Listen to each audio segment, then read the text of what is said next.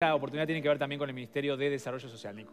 Sí, porque el MIDES presentó las bases del Plan Nacional de Cuidados 2021-2025, eh, que se enfocará en la primera infancia, la descentralización y la profesionalización de los funcionarios. También se establecerá un protocolo de actuación para los cuidadores que reciben o presentan denuncias por delitos como acoso y abuso. Esto último, eh, este último proyecto surgió luego de estudiar los resultados de una auditoría interna que se realizó en la cartera. ¿Qué, vamos a ver? ¿Qué cabe esperar entonces del sistema de cuidados de Aquí en Más? Vamos a conversarlo con la directora del Programa Nacional de Cuidados, Florencia Kral, a quien estamos recibiendo en estudios esta mañana. Bienvenida. Hola, muchas gracias. Buenos días. Bienvenida. Acompañanos. Eh, el, Programa Nacional de Cuidados, el Sistema Nacional de Cuidados era un buque insignia del, gobierno anterior. Cuando asumió este gobierno, cayó la pandemia, eso nos, sacó eh, del foco de muchísimos temas importantes, este entre ellos.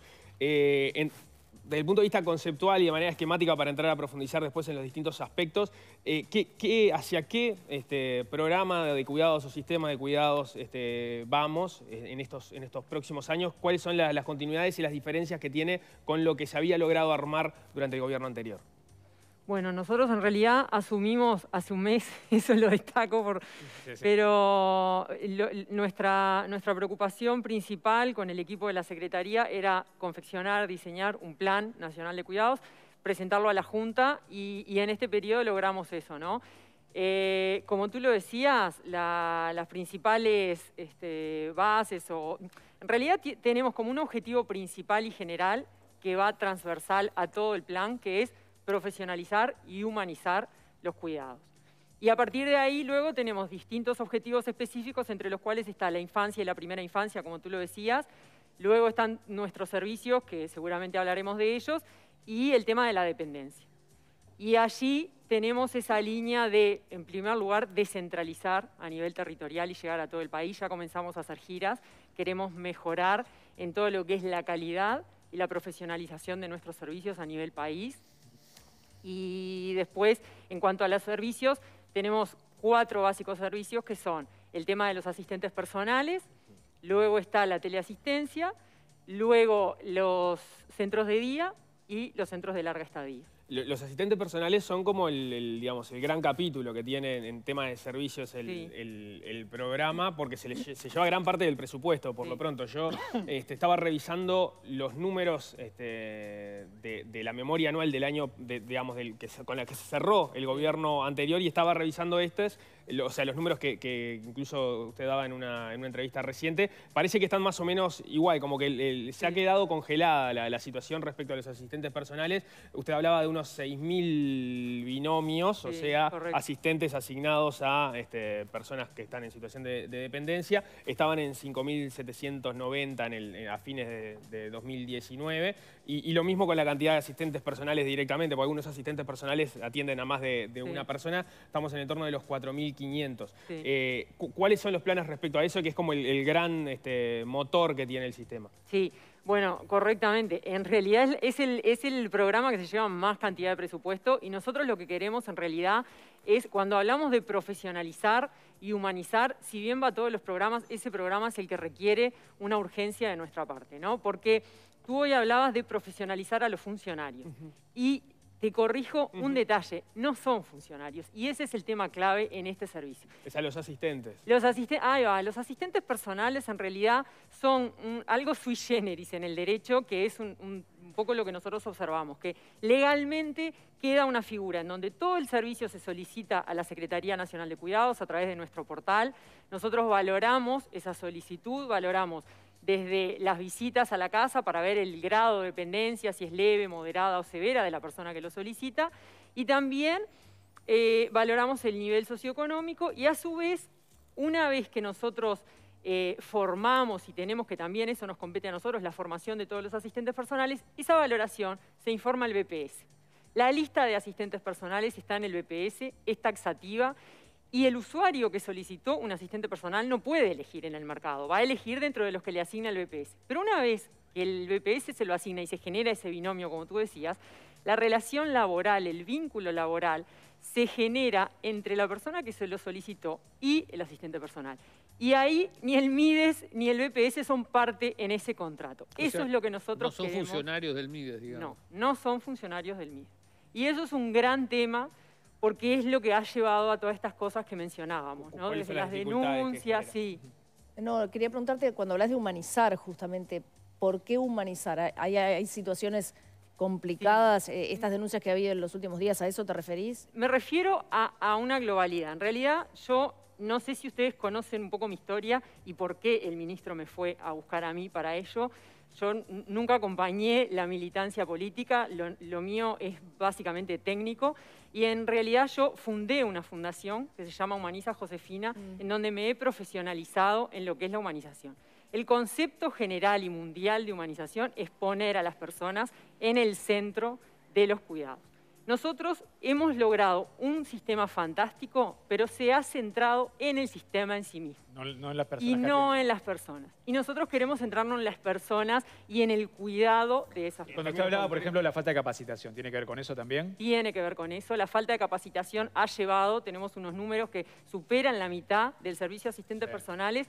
Eso genera que la gente que hoy está al cuidado de una persona no tiene la formación necesaria, podrá tener cariño o ponerle mucho cariño al trabajo, pero le faltan muchas competencias profesionales que hacen a que el cuidado sea centrado en esa persona a la que se está cuidando. Si bien yo entendí bien, no son funcionarios, pero tienen el aval tanto del MIDES como del BPS, porque, porque son adjudicados con su mediación. Sí, son adjudicados, deberían ser controlados, la demanda ha superado y en, y en ese sentido se ha desmerecido lo que es la supervisión, el, Estado debería estar controlando. un seguimiento. Y se, hace, se afecta un seguimiento, porque se hace imposible controlar 6.000 relaciones ¿Cómo se habilita a una persona a formar parte de esto? ¿Tampoco hay un control en la habilitación? Sí, hay un control en la habilitación. De hecho, las personas que se postulan para asistentes personales pasan por la Secretaría, pero sucedió desde el 2017 esta parte que se asignaba el binomio sin tener la formación. ¿Y la capacitación? ¿Y la capacitación? ¿Es responsabilidad del MIDES?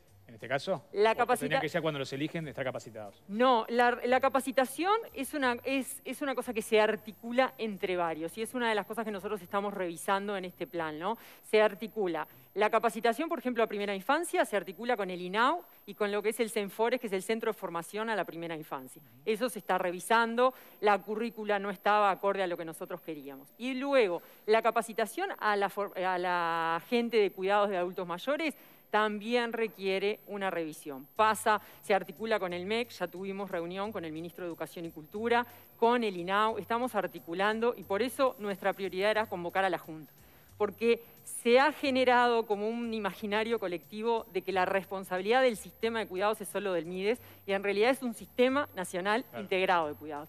Por eso convocamos a la Junta y comenzamos a articular con el Ministerio de Educación y Cultura, con ANEP, una de las cosas que, nosotros nos han consultado mucho también es qué pasa con esos chicos que no les permiten el ingreso a un centro educativo porque no tienen un asistente personal. Y desde el punto de vista educativo, quizás no requiera un asistente personal, que solo debería enfocarse en los cuidados, sino un asistente terapéutico o pedagógico que muchas mamás de esos chicos nos lo reclaman. Formado, formado para eso. Claro, formado para eso, y que no es el MIDES el que lo tiene que formar en eso. Entonces ahí ya estamos articulando con ANEP, para ver qué figura, si la figura tiene que ir acompañando a cada chico o en realidad la tendría que poner el centro educativo. Bueno, esas son todas las cosas que nosotros tenemos en agenda. Hay muchos este, chiquilines en esa situación que no pueden acceder a la educación porque no cuentan con un asistente. Bueno, nosotros hoy en eso está yendo a nivel de lo que es lo que denominamos las excepciones y es lo que también tenemos bajo estudio. Hoy tenemos 793 personas trabajando en régimen de excepciones, lo cual nos parece demasiado, porque no, no, nosotros queremos enfocarnos en la generalidad, no en las excepciones.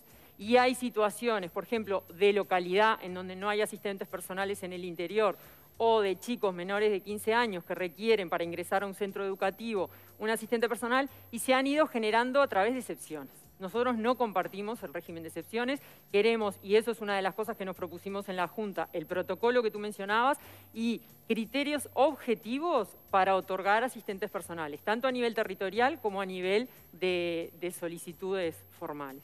Hay situaciones puntuales, usted ha mencionado, de eh, cuidadores que... Eh, están cobrando pero no están este, trabajando en estos momentos? ¿Eso lo han detectado? Bueno, ¿Están en un eso- cruzamiento de datos? En realidad estamos enfocados a un cruzamiento de datos, ya nos reunimos con el BPS también por ese tema. Nos consta porque nos los han dicho, pero por esa falta de supervisión que el sistema no nos permite supervisar 6.000 relaciones, tenemos una situación fáctica que se da, que es que la persona que solicitó el servicio hoy no está conforme con ese servicio o no lo requiere más, y como no tiene el monto para pagar el despido, que esa es una de las cosas que nosotros decimos cuando se genera esa relación laboral, El termina el Estado fuera y el despido corresponde a la persona, no tiene, y entonces le dice al asistente personal, no vengas más. Y el Estado no tiene forma de enterarse de eso. Sabemos, porque nos han dicho de situaciones, pero es una de las cosas que tenemos que hacer, controlar y trabajar con el BPS para ese cruzamiento de datos. ¿Qué pasa con el despido en ese caso? Porque Bueno. si la persona que, que- que recibe el servicio no lo puede pagar, Que es lo más probable, es lo más probable, ¿no? porque para eso existe el es que, sistema, no para gente que no, que no tiene... Es que es lo que decimos nosotros, es, es, es una- un contrasentido. Claro. Que la persona pide un subsidio porque no puede pagarle al asistente personal y cuando se quiere desvincular tenga él que hacer frente a eso. Nosotros hemos tenido citaciones al Ministerio de Trabajo por este tema y realmente nunca se ha responsabilizado al MIDES por esa relación laboral, porque la ley es clara al definir que la relación laboral se genera las- entre las dos partes. Y nosotros como Estado tampoco avalamos eso, porque no, no, no es que queremos dar por un lado protección y por otro lado desprotegemos. Eh, nos hemos reunido con el Sindicato de Asistentes Personales y tanto los asistentes personales como las personas nos hablan de una fragilidad.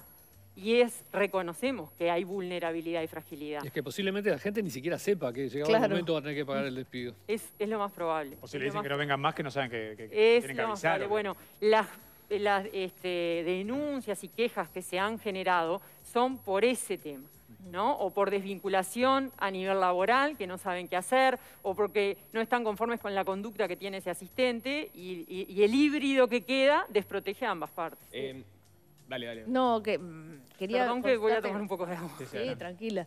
Eh, se ha hablado de, el ministro Lema ha hablado de situaciones de maltrato concretamente que se han encontrado y mi duda ahí era si a la hora de seleccionar el personal se hace algún tipo de evaluación psicológica, algún tipo eh, de evaluación para saber si la persona está apta para tratar con niños y con ancianos, ¿no? que son dos poblaciones extremadamente vulnerables. Bueno, esa es una de las cosas que queremos corregir, porque hasta que se daba formación, que como les decía, eso fue hasta el 2017, a- del 2017 en adelante no se ha dado formación.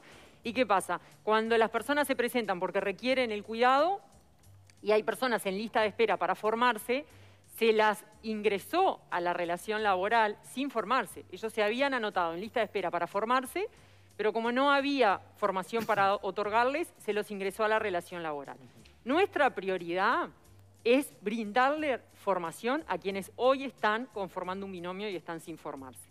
Y otra de las cosas, Paula, en ese sentido, es que la formación es básicamente única. Es un modelo único de 152 horas en donde se les dan 12 horas prácticas y 140 teóricas, pero en ningún momento se distingue si, por ejemplo, la práctica es hacia adultos mayores o hacia primera infancia. Entonces la gente, y es más, nos dicen que la práctica generalmente se hace en lugares donde se atiende a adultos mayores, con lo cual quien quisiera cuidar a un niño no se especializó, ni se formó, ni se entrenó como para cuidar a un niño. Eh, yo, decía que la, foto de los asistentes personales y de los binomios es, casi idéntica a la que teníamos en, en 2019. ¿Qué ha ido pasando con, las personas que se han ido anotando en este periodo? ¿Cuánto es la, lista de espera, digamos, de, personas que no están recibiendo el asistente y, tendrían las condiciones para hacerlo? ¿Y cuáles son las previsiones de, cuidados respecto a qué va a pasar con esa cantidad de binomios de acá para adelante? Por las vías normales que entran, ya están en el sistema del BPS y se han ido dando. El otro día me cotejaban los datos y realmente en el BPS este año, en lo que va del 2021, se han altado relaciones de asistentes personales unas 500 o 600 relaciones.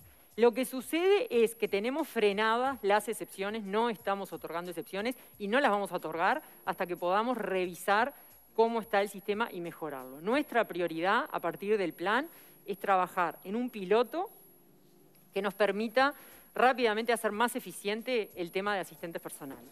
Hoy decían que se nos va la mayoría del presupuesto y es verdad. Nosotros tenemos 1.700 millones de pesos anuales asignados en este presupuesto y de esos 1.500 se van en asistentes personales. Nosotros no podemos seguir eh, con esa cifra dando lo que hoy estamos dando. Queremos dar algo mejor, no vamos a desvincular ningún binomio que hoy exista, pero sí vamos a mejorar y vamos a profesionalizar. O sea, por ahora no, saben cuántos van a ir agregando. no, sabemos. Hoy no, sabemos. no, hay gente, en lista de espera, como decía Nico? Hay gente en lista de espera de excepciones. De excepciones. Y hay gente en lista de espera para formarse, sin duda. Porque tenemos los que hoy están trabajando y todavía no se formaron, y tenemos gente que se quiere formar y todavía no la podemos habilitar. Pero las personas que están necesitando un asistente personal eh, y, hoy, por hoy no lo tienen, ¿cuántas son? Es muy poco, es muy poco. No, no sé decirte con exactitud porque están más que nada por la vía de las excepciones, porque se dan, se dan casos, aparte yo lo decía, pero a partir de que se anunció el plan y que tuvimos la conferencia de prensa, empiezan situaciones individuales a llamarnos a nosotros y eso no puede permitirse, porque ese es el régimen de las excepciones que no vamos a permitir. Ahora, las excepciones están, por ejemplo, niños que tienen que ir a la escuela con acompañante y no pueden ir. Bueno, eso es lo que queremos articular con ANEP, con el Ministerio de Educación y Cultura, con INAU, en realidad, más que nada con ANEP. Nosotros tenemos eh, planificada ya una reunión con el presidente de ANEP porque se requiere definir criterios para ver qué es lo que ese chico requiere para entrar a la escuela. Y otra cosa que nosotros decimos, que hemos recibido alguna denuncia del Instituto de Derechos Humanos, por ejemplo, en cuanto a que nosotros somos los que vulneramos el derecho a la educación y no consideramos que sea así porque el hecho de que no le, asignemos un asistente personal, no somos nosotros responsables de la falta del derecho de ese niño, la vulnerabilidad del derecho de ese niño a ingresar al centro educativo. Lo tenemos que hablar, no es ANEP tampoco, tenemos que ver las situaciones cada caso. Eh, en realidad, ¿por qué, ¿por qué la escuela define que el niño no va a entrar si no tiene un asistente personal? La escuela debería definir y aceptar, y de hecho lo hemos hablado con muchos padres que nos han pedido entrevista y los hemos recibido, y nos dicen, hasta hace unos años no había inconvenientes. Hasta el 2014, sí, creo que el 2014 se, se, permitía el ingreso de los niños. Fue después de las reglamentaciones que los centros educativos como que empezaron a decir, no, si no tiene un asistente personal, el chico no entra a la escuela. Y no es así. Y eso es algo que tienen que directamente eh, hablar con, la NEP. Es eso. Es El derecho a la educación nunca debería estar vulnerado No debería. y es lo que nosotros entendemos. No debería. Y en ese caso, si, si, es que existe un requerimiento específico por parte de ese centro educativo, tendrían que ponerse de acuerdo con, ustedes, en este caso, para ver cómo se, cómo se establece. Correcto. Y aparte el cuidador, el asistente personal concretamente, es como decimos, es los ojos, los brazos o los pies del niño, lo acompaña al baño, pero no le enseña las tablas que, que pueda estar enseñando una maestra. ¿Qué hace la familia que está en esa situación, por ejemplo? Ahora, ¿cómo, qué, ¿qué debería hacer?